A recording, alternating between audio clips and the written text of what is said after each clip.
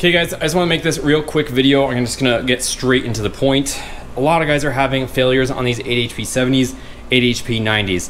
I've never seen or heard anything like this, but I had a catastrophic failure on my 8HP 90. We're not exactly sure what the cause was, but on the failed 8HP 90 that I had, the output flange nut was somewhat questionable. It was loose. I'll show you guys that here. So this flange that comes out of the transmission, it's torqued and has a little indent so that this doesn't come loose from the factory, but look at this.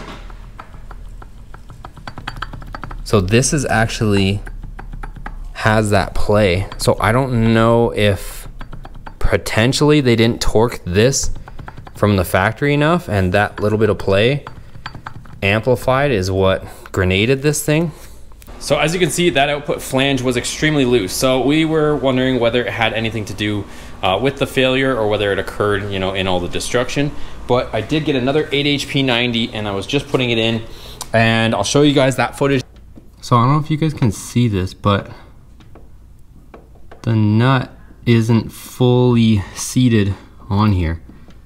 So I can turn the flange underneath the nut, which means that that nut doesn't have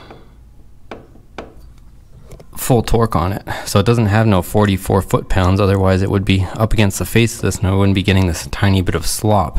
So I don't know if you guys can see that, but the flange is turning, but the nut is not. So that means that this needs to be tightened down. So I'm gonna take this stake out of here and I'm gonna try to put a little bit more torque on this down to spec, 44 foot-pounds but this one had play in it. I could sit here and physically take the output flange and I could move it um, and you could see the nut. I could even rock it um, clockwise and counterclockwise and you could see it rotating underneath the nut. This nut is supposed to be torqued down to 44 foot-pounds from the factory and I don't know what's going on but they're supposed to be also staked right here and it's supposed to hold it in place. As you can see, I just relieved that stake there and I managed to turn it. Um, I'm not sure rotationally how much that would be, but you can see I moved it over by uh, just over an eighth of an inch, maybe almost about an eighth of an inch more of a turn I got out of it. And that completely snugged this thing up. So I don't have any play in this. So I've now had two that have that. I've seen tons of failures uh, people having failures with uh, the output shaft, you know, having some sort of vibration and breaks the tail shaft uh, of the transmission. So I just want to show you guys that. Again, 44 foot-pounds is uh, what I believe it's specced out at when I looked it up in the manual.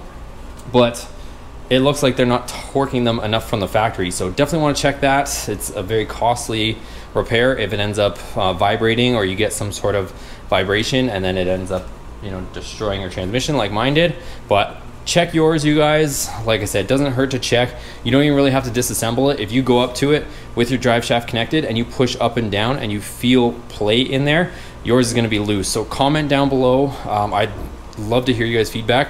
Go check yours now and comment down below if you guys have the same thing because this is huge you guys. Like i said two out of two.